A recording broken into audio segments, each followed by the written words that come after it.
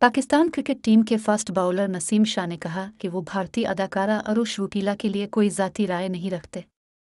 एक TV interview में भारतीय अदाकारा की जानिब से नसीम शाह को पुलिस का एजाज़ी रैंक मिलने और सालगिरह की मुबारकबाद भेजे जाने और फिर इस पर नसीम शाह की तरफ़ से जवाब दिए जाने के बारे में पूछा गया। इस पर नसीम शाह ने बताया कि मैं इस दौरान क्रिकेट में मसरूफ़ था।